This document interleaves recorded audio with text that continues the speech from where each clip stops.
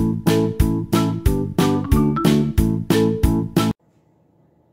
friends, I'm so happy to welcome you into my studio today to make some more projects together for our monthly drop in art. So thank you so much to PCCA for taking us online so we can still make projects together even though we have to stay home.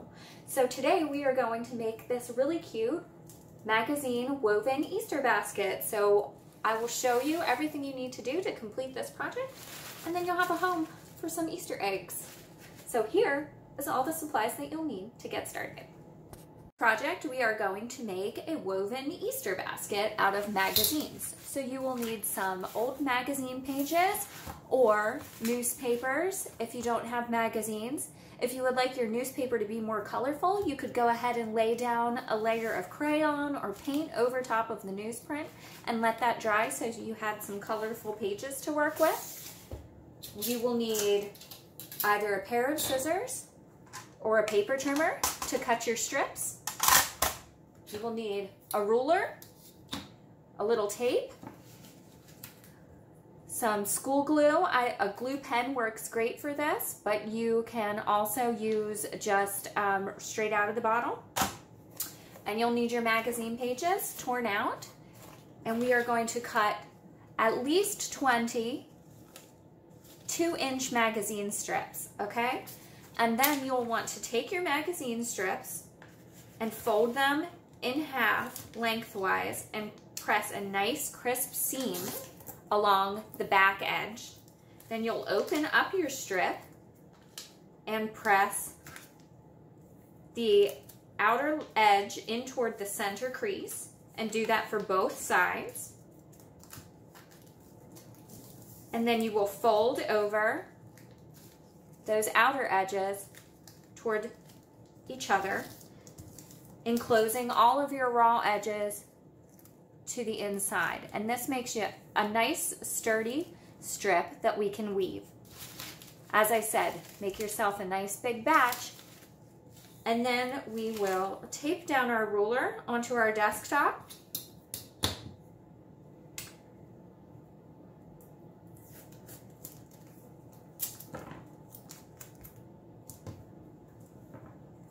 And this is how we will get our measurement for how big we want our basket to be. So you can slime the little edges underneath of the ruler and this will also help hold them in place. And you can decide, I'm just gonna do six strips by six strips. That helps you to keep a nice little square basket and it's an easy way to keep track of how much you're working with and just slide them underneath of your ruler.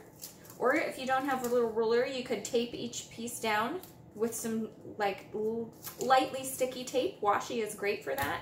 Or a little bit of masking tape just so you can peel them up later.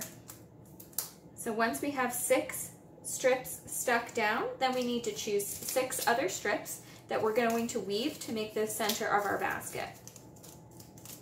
Okay, and then you just want to weave going over and under your pieces. And it'll be loose at first. It's okay if they wiggle around. You can go back and straighten them. It'll get easier as you work. And then you will do the opposite layer. So the opposite layer will go over and under. And you can see they're not terribly neat right now, but we can press them up together and get our measurements right as we work.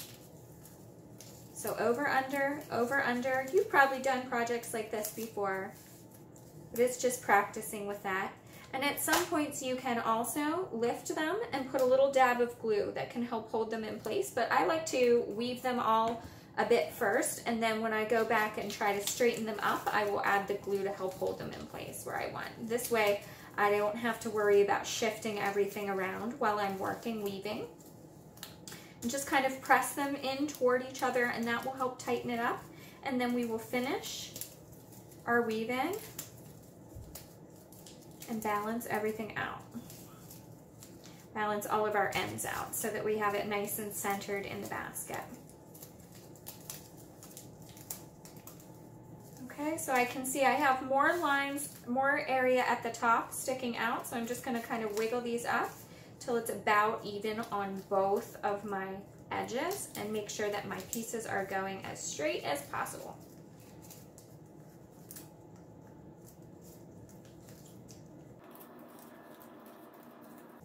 Once I have that straightened up, then I'm gonna just straighten these edges and do the same thing. Just make sure about the even, an even amount is sticking out of either side.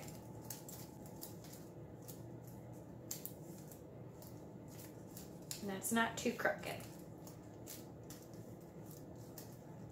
And then I like to lift them up just slightly and put a little dot of glue underneath a few of the places where they overlap. You'll have some small gaps in between your pieces and that's great. That looks just like a woven basket. It's especially helpful if you put it on the ends because that helps keep it from wiggling out. And then you'll want to set this aside to dry for a little while. But through the magic of video, I have already created one. So this will be your base and it will look like this and you'll just want to set that to dry. Maybe sit something heavy on top to weigh the glue down so that it all sticks together, okay?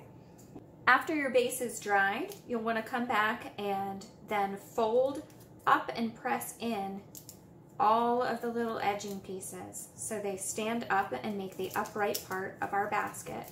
So you'll just work your way around folding them in toward the center so that they stand up away from the bottom and this will create start to create our sides. We'll do this the whole way around for all of the pieces just using the, uh, the outermost piece to help you decide where to crease. Okay? You just work all the way around. And then I have one that I have already started. You can see all of the pieces. And then you'll just want to start with weaving again, going around the uprights of your basket. And I like to use little clips to help hold them in place as I work because this time you definitely do want to add glue. Okay, and then whenever you get to a point where they overlap, you'll just want to take one little tail and fold it over and keep it going so that it connects into the next layer. And then you can cut that extra bit off. So I'm just gonna bring it till it overlaps here with this one. Tuck it down. Use a clip to help hold it in place. And then I'm gonna cut this extra tail off in line with one of the uprights.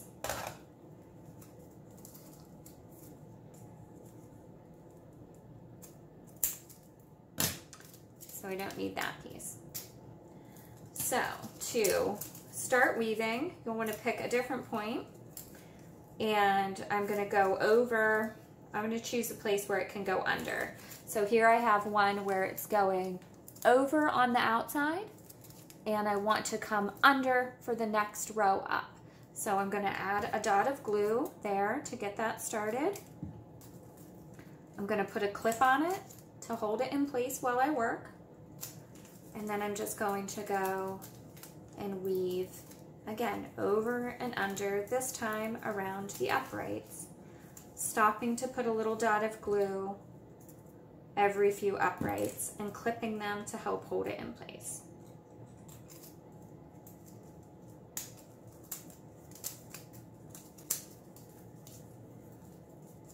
When you get to a corner, you'll simply put another crease to help bend your paper.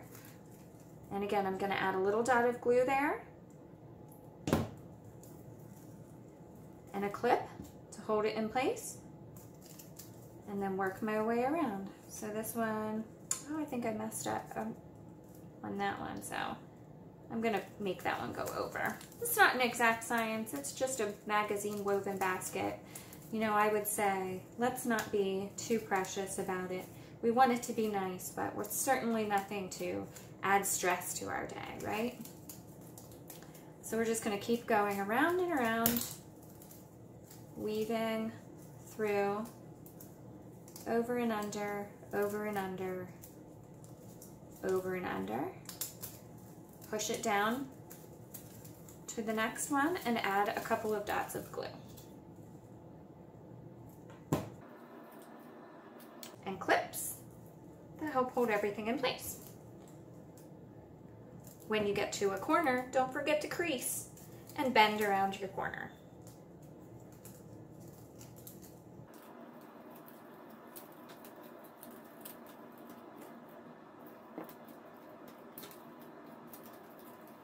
When you get to an end, just simply pick a new one and glue them together and clip them in place and keep going.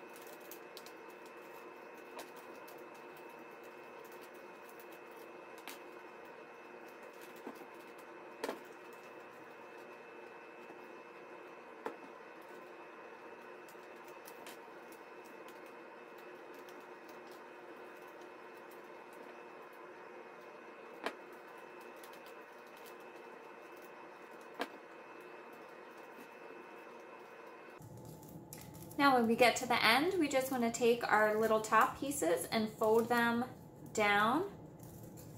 When you get about a row from the top, you want to fold them in, or if you have your basket as high as you want, just fold those down toward the center and glue those in place.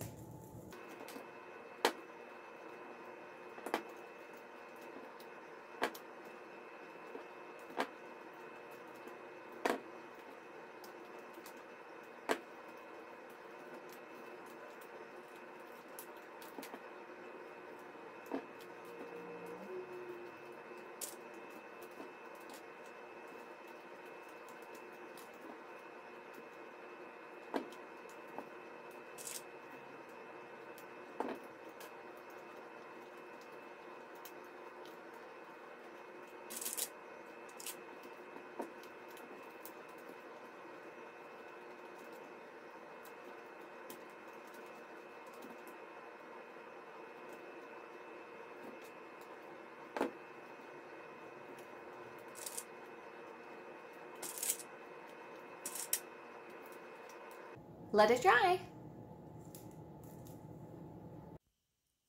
And there you have your finished woven basket all ready for some Easter eggs. So you would just want to add a little bit of shredded grass or some fun tissue paper to create a little nest and add your eggs. And there you have a great little recycled paper magazine Easter basket. Happy Easter. Stay creative, friends. Thanks. Bye.